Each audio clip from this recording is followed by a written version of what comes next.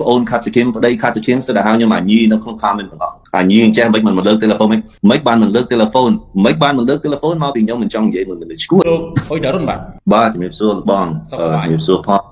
ហើយបងប្អូនទាំងអស់គ្នាដែលនៅស្រុកខ្មែរនៅអាមេរិកហើយនៅជំនាញផែនដីទាំងអស់គ្នាបាទយើងដឹងហើយថាអុយតារុនគឺជា គូវិវាទដ៏ស្រួយស្រាវមួយជាមួយតារាผู้ជំនាញគឺអ្នកនាងខាត់សុខីមដែលថ្មីថ្មីនេះមានការបោះសម្ដីទៅវិញទៅមកដែលទើបតែល្បីល្បាញនៅលើបណ្ដាញសង្គម Facebook មួយរយៈចុងក្រោយហើយថ្មីថ្មីនេះខ្ញុំក៏បានទៅជួបតារាผู้ជំនាញគឺអ្នកនាងខាត់សុខីមដែលគាត់បាននិយាយ like មួយទៅបាទឥឡូវនេះពេលនេះលោកអ៊ុយដារុនក៏បានផ្ដល់នៅបទសម្ភាសន៍ដល់ក្រុមការងារតារាមួយយើងបន្ថែមទៀតលោកអ៊ុយដារុនអាចបញ្ជាក់បានទេថាអ្វីដែលជាដើមចមនៃបញ្ហាតាមការពិតទៅបងខ្ញុំធ្វើការជាមួយគេអឺមុនដំបូង អា show មុនគេហ្នឹងគឺជា show នៅខេត្ត Florida ហើយ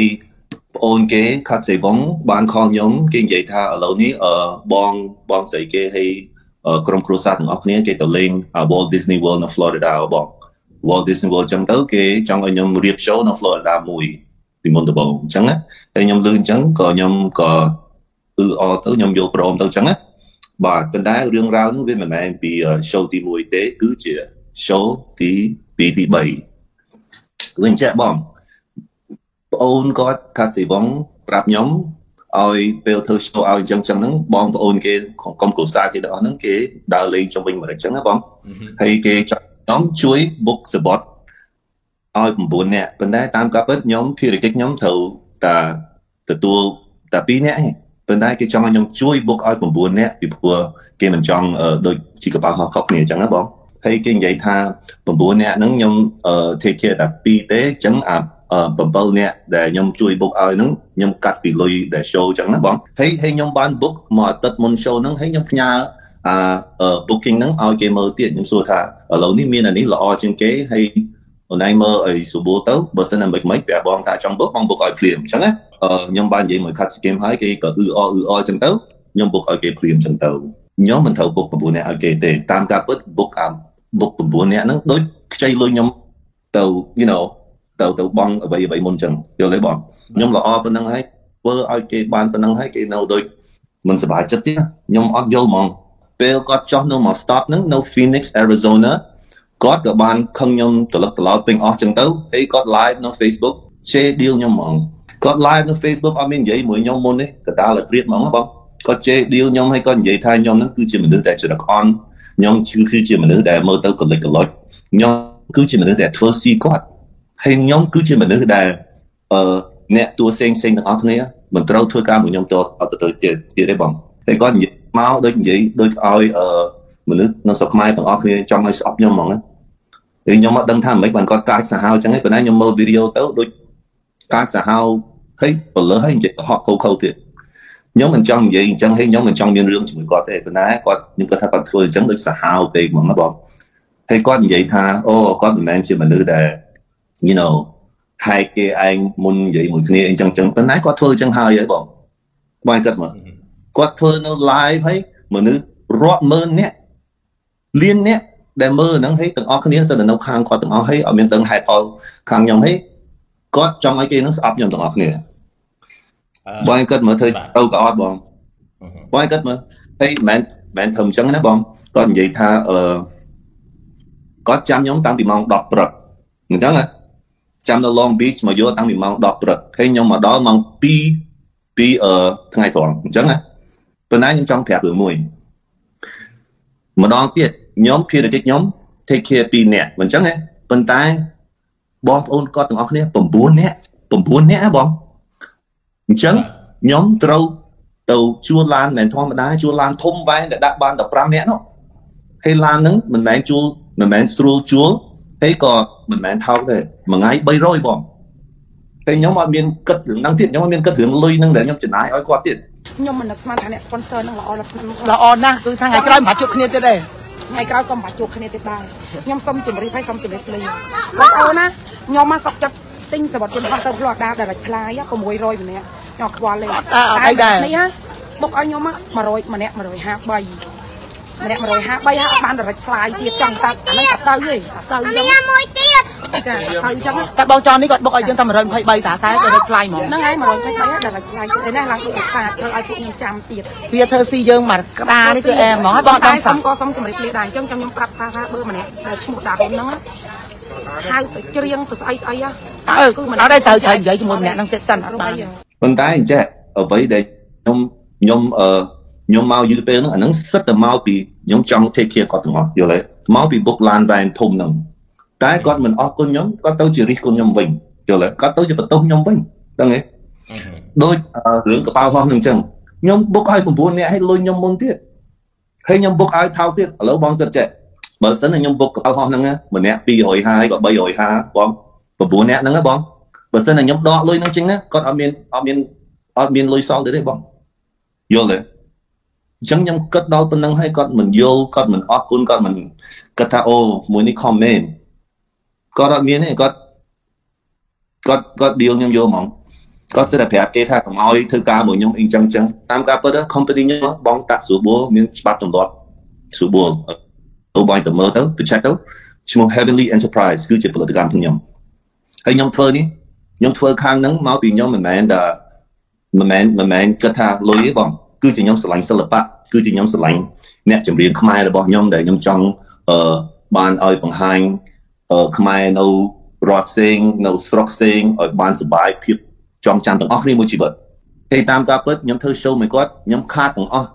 ប៉ុន្តែខ្ញុំអត់មាននិយាយមួយម៉ាត់ហើយខ្ញុំនៅតែឲ្យលុយគាត់ ពេញដៃអត់មានខ្វះមួយរៀល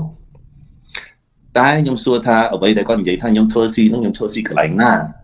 ហើយប្រខូចឈ្មោះខ្ញុំមិនបានគាត់ធ្វើអញ្ចឹង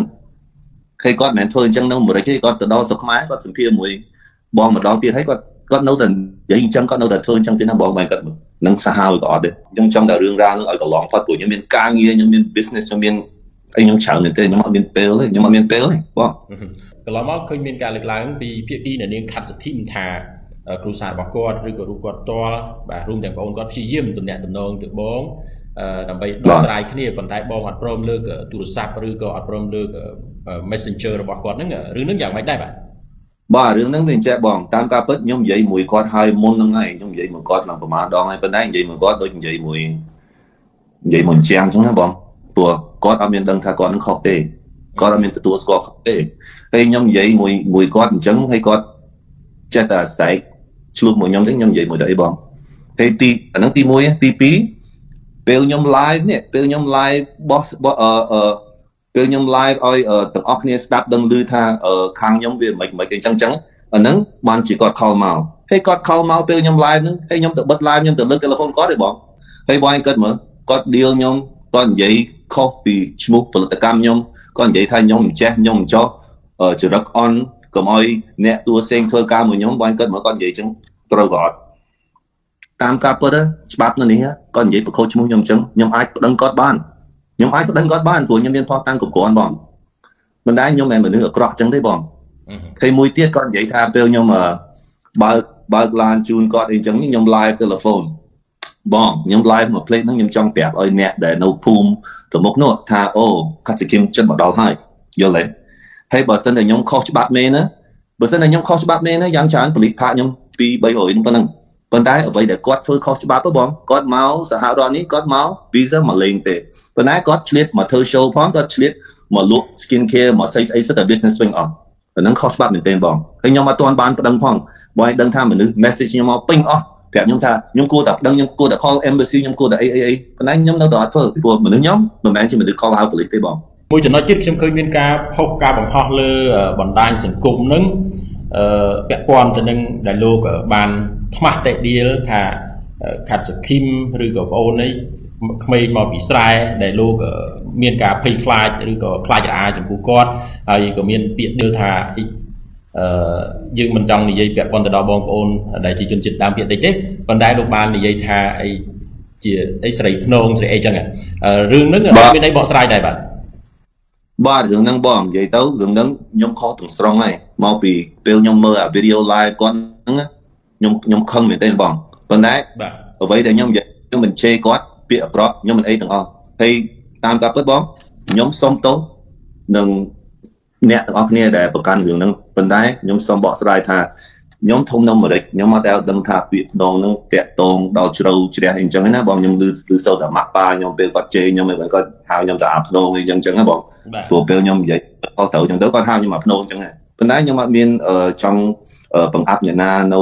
នៅទីណាទេបងខ្ញុំអត់មានចេតនាទេឥឡូវខ្ញុំដឹងខុសខ្ញុំសុំទោសទាំងអស់គ្នាណាបាទខ្ញុំអត់មានចេតនាទាំងអស់សុំទោសទាំងអស់គ្នារឿងនឹងមួយ ប៉ុន្តែបងបងគិតមើលគេនិយាយអញ្ចឹងដាក់បងបងបងមិនខឹងទេអូខេគេចង់គេចង់ចេះផ្លូវហ្នឹងគឺជាផ្លូវយើងរស់ស៊ីហើយគេចង់បិទគេចង់ចង់និយាយថាគេចង់ឲ្យយើងបិទកុំឲ្យលុយចូលហ្មងឥឡូវបងគិតមិនផ្លូវហ្នឹងគេធ្វើអញ្ចឹងហើយដូចខ្ញុំនិយាយអញ្ចឹងតាមការពិតខ្ញុំអាចប្តឹងគាត់បានទាំងបងទាំងប្អូនទាំងអស់គ្នាតែខ្ញុំនៅតែមិនទាន់ធ្វើព្រោះខ្ញុំមានផោះតាំងហើយខ្ញុំសួរមួយទៀត អាពេលគាត់ live លើកទី1ហ្នឹងណាបងគាត់ខុសទាំងស្រុងហើយហើយគាត់អត់មានទទួលខុសហើយទាំងប្តីទាំងប្អូនទាំងប្តីប្អូនស្រីហ្នឹងសិតតែសិតតែខលមកខ្ញុំទាំងអស់ខលមកខលមកគម្រាមហ៎បងពេលខ្ញុំនិយាយតាមត្រង់ខ្ញុំមិនដែលខ្លាចអ្នកណាបងប៉ុន្តែខ្ញុំខ្លាចគ្រួសារខាត់សគីមនិយាយទៅចេញមកដូចមេហ្គេងហ្នឹងបងមេហ្គេងតកោតកោខាត់ខ្ញុំសុំខ្លាចបងអរគុណបាទជួយជួយជួយបាទតែ ខ្ញុំខ្ញុំអត់ចង់វែងឆ្ងាយច្រើនខ្ញុំគ្រាន់តែចង់ឲ្យមនុស្សទាំងអស់គ្នាដឹងថាគ្រឿងការពិតវាមិនប៉ុន្តែខ្ញុំចង់និយាយតែចិត្តផងមិនបានគាត់ live គាត់លើកទី1អាអា live ដែលគាត់ធ្វើហ្នឹងគាត់ជេរខ្ញុំគាត់ប្រមាថខ្ញុំហ្នឹងមិនបានគាត់លុបចោលហើយដល់គាត់ live លើកទី2គាត់ធ្វើជាគាត់អត់ដឹងអីទេគាត់ធ្វើជាខ្ញុំនឹងអ្នកធ្វើបាបគាត់វិញហើយអញ្ចឹងនិយាយថាគាត់អាងតែគាត់មាន fan ច្រើនជាងខ្ញុំមិនមកគាត់ធ្វើអញ្ចឹងគាត់អាងគាត់មាន fan ច្រើនជាងខ្ញុំគាត់គិតថា fan ទាំងអស់គ្នាហ្នឹងជឿគាត់ហើយ ខ្ញុំមិនអាចធ្វើឈ្នះទេប៉ុន្តែខ្ញុំមិនចង់ឈ្នះចាញ់ទេបងពីព្រោះពេលជួនកាលយើងគិតថាយើងឈ្នះយើងទៅជាចាញ់វិញបាទជាការកត់សម្គាល់ខ្ញុំឃើញថាភាគីខាត់សគីមសម្រាប់ចិត្តលុបវីដេអូទី1ហើយបានលើកឡើងថាព្យាយាមតាក់ទំនាក់ទំនងទៅលោកអ៊ុយដារុននឹងដើម្បីឲ្យលុបវីដេអូរបស់ខ្លួនដែលនិយាយនឹងដែរលោកមានអីជាការឆ្លើយតបដែរទៅលើចំណុចហ្នឹងបងខ្ញុំអត់មានអីត្រូវលុបទេពីព្រោះវីដេអូដែលខ្ញុំបញ្ចេញហ្នឹងគឺជាខ្ញុំការពារខ្លួនឯងគេហ្នឹង ចង់មកនិយាយអាក្រក់ពីខ្ញុំអាក្រក់ពីឈ្មោះខ្ញុំចង់និយាយថាប្រខូចឈ្មោះខ្ញុំហ្មងអញ្ចឹងខ្ញុំត្រូវតែចេញវីដេអូហ្នឹងឲ្យអ្នកគ្នាដឹងរឿងការពិតរឿងអីខ្ញុំត្រូវលុបខ្ញុំអត់មានធ្វើអីខុសផងហើយរឿងអីខ្ញុំត្រូវលើកទូរស័ព្ទគាត់ពេលខ្ញុំ live ហ្នឹងឥឡូវខ្ញុំសួរបាយមើលរឿងអីខ្ញុំត្រូវលើកហើយបើសិនតែមនុស្សអត់ទៅមិនមិនដឹងខុសត្រូវហើយមិនទទួលស្គាល់ខុសខ្ញុំនិយាយមកគេតែអីទៀតបងខ្ញុំមានតែដូចខ្សែទៅវិញទៅមកហ្នឹងខ្ញុំមិនមែនមនុស្សអញ្ចឹងទេបង you know បើសិនជាឯងអឺនិយាយថាអ្នកឯងត្រូវរហូតអញ្ចឹងខ្ញុំអត់មានអីនិយាយទៀតទេបងបាទប៉ុណ្ណឹងតាមរយៈការលើកឡើងរបស់ខាត់សុគីពីខាងដើមបានហាក់ដូចជាបង្ហាញនៃចំហចង់បញ្ចប់រឿងចុះភាគីខាងលោកវិញយ៉ាងម៉េចដែរប្រសិនបើមានការព្រមព្រៀងដើម្បីបញ្ចប់រឿងលោកឯកភាពទេបងរឿងហ្នឹងខ្ញុំចង់តែអញ្ចឹងឯងដូចខ្ញុំនិយាយចិត្តឥឡូវហ្នឹងបងមិនបាច់និយាយអីបងមើលទៅមើលគេ live ប្រហែលដងជ័យខ្ញុំតែមើលខ្ញុំ live ប្រហែលដងខ្ញុំ live តែម្ដងឯណាបង តែម្ដងគាត់ទៅខ្ញុំអត់មាននិយាយរឿងហ្នឹងតទៅទៀតហ្មងប៉ុន្តែគេនេះគេមិន live រឿងគេ live 3 4 5ដងនិយាយជេរខ្ញុំស្ដាប់ហៅខ្ញុំអាញីចេះអាញីចោះបើមើលឃើញប្អូនខាត់សិគិមប្តីខាត់សិគិមស្ដាប់ហៅខ្ញុំអាញីនៅក្នុង comment ទាំងអស់អាញីចេះមិនមិនលើកទូរស័ព្ទមិនមិនបានមិនលើកទូរស័ព្ទមិនបានមិនលើកទូរស័ព្ទមកពីខ្ញុំមិនចង់និយាយមួយមនុស្សឈួតហើយខ្ញុំពងតែ live ខ្ញុំត្រូវលើកទូរស័ព្ទនៃឯងឯងមកពីឋានលើក៏មិនខ្ញុំ you know អត់ទេបង ខ្ញុំអត់ដឹងនិយាយមិនទេប៉ុន្តែបងសម្ភារគាត់លើកមុនហ្នឹងបងឃើញចរិតគាត់ចឹងមកបងដឹងហើយបងចឹងហើយគឺជាស្រីសោះស្រីសោះបងហើយអ្នកដែលធ្វើខុសទៀតអត់ព្រមទទួលស្គាល់ថាខុសហើយលុបផោះតាំងអាទី1ចេញហើយមកបង្អាប់ខ្ញុំហើយចង់ឲ្យគេនឹងទាំងអស់គ្នាអ្នកតារាផ្សេងផ្សេងកុំឲ្យធ្វើតាមខ្ញុំខ្ញុំនឹងមនុស្សអន់ចរិតហើយខ្ញុំមនុស្សមិនត្រង់ប៉ុន្តែខ្ញុំសួរថាខ្ញុំជពាក់លុយគាត់ប្រហែល ខ្ញុំធ្វើស៊ីគាត់កន្លែងណាគាត់និយាយចឹងខ្ញុំមានតែអ្វីដែលខ្ញុំធ្វើឲ្យចេញពីចិត្តទាំងអស់ហើយខ្ញុំអត់មានគិតមួយនឹងទៀតហើយគាត់និយាយថាខ្ញុំមិនមែនអឺចេញអូតែលគាត់បងខ្ញុំមាន receipt ទាំងអស់ខ្ញុំមាន receipt ទាំងអស់ណាហើយខ្ញុំជួលឡានឲ្យគាត់មួយទេណាបងពីព្រោះគាត់មាន9នាក់អូខេហើយប្អូនគាត់នឹងនៅអាមេរិក11ឆ្នាំហើយចេះបើកឡាននេះទាំងអស់ខ្ញុំជួលឡានឲ្យគាត់ហើយឲ្យសោអូន ក៏ឡូវឡាននេះដាក់បានទាំងអស់គ្នានៅចង់ដើរលេងកន្លែងណាក៏ក៏បានដែរយល់ទេហើយពេលទៅ airport វិញគណៈគណៈតម្លាក់ឡាននៅកន្លែង airport មុនឡើងកប៉ាល់ហោះនឹងបានហើយអញ្ចឹងហ៎បងស្រួលប៉ុណ្ណាទៀតតាមការពិតគេកំពុងតែដើរលេងខ្ញុំគ្រាន់តែជួលគេមកធ្វើ show ទេយល់ទេខ្ញុំមិនមែនភារកិច្ចខ្ញុំមិនមែនអឺដើរលេងជាមួយគេតាមគេចឹងទេបងប៉ុន្តែខ្ញុំធ្វើឲ្យប៉ុណ្្នឹងហើយគាត់នៅរិះគន់ទៀតខ្ញុំអត់ដឹងនិយាយមិនទេហើយខ្ញុំធ្វើ show ជាមួយគាត់ទេបងគាត់ណា4 show បានហួស10000ហួស10000ឥឡូវខ្ញុំសួរវិញបើសិនតែគាត់ធ្វើ show នៅស្រុកខ្មែរបានថ្លៃប៉ុណ្្នឹងទេក៏បានថ្លៃប៉ុណ្្នឹងក៏អត់គាត់គណៈធ្វើកាត់សក់កាត់សក់ជើងកាត់សក់ឲ្យគេរៀបការហ្នឹងប៉ុណ្្នឹងមិនចឹងហើយគាត់ប្រាប់ខ្ញុំទៀតណាអឺចឹងគាត់យកយ៉ាងច្រើនប្រហែល100 1000ហ្នឹងហ្នឹងគឺជាការពិតណាបាទហើយបងគាត់ថាពេលគាត់ live ជេរខ្ញុំហ្នឹងណាគឺជាខែ9ថ្ងៃ6អូខេ ខ្ញុំមាន show មួយទៀតខែ9ថ្ងៃ17ជាមួយគាត់អូខេនិយាយទៅខ្ញុំ level មែនទែនការងារខ្ញុំខ្ញុំមានចង្ការ flag ឈើនៅនេះអីចឹងចឹងហើយខ្ញុំ level មែនទែនអឺខ្ញុំអត់បាន start live ហ្នឹងទេប៉ុន្តែបងស្រីខ្ញុំផ្ញើ link ហ្នឹងមកពូម៉ាក់ខ្ញុំផ្ញើ link សង្សារខ្ញុំផ្ញើ link មកគេទាំងអស់គ្នាផ្ញើ link មកខ្ញុំទាំងអស់គ្នាប៉ុន្តែខ្ញុំអត់មានចូលមើលទេពីព្រោះខ្ញុំអត់ចង់ខូចអារម្មណ៍ខ្លួនឯងខ្ញុំដឹងតែខ្ញុំចូលមើលខ្ញុំខំទេបងយល់ទេអរគុណដែលចុងក្រោយលោកមានអីនិយាយទៅកាន់អ្នកនាងខាត់សុធីមដែរទេលោកអ៊ុយដារុនបាទ អរខ្ញុំគ្រាន់តែចង់និយាយថាហេតុអីបានគាត់កាចម្ល៉េះហេតុអីបានគាត់ហេតុហេតុអីបានគាត់ចង់ប្រកោតឈ្មោះខ្ញុំតើខ្ញុំបានបំបត្តិគាត់អ្វីខ្លះខ្ញុំបានបោកគាត់អ្វីតាមការពិតខ្ញុំនឹងជួយគាត់ច្រើនជាងគេបើសិនតែអត់មានខ្ញុំគាត់មានតែប្រហែល2 3 show ឯងបង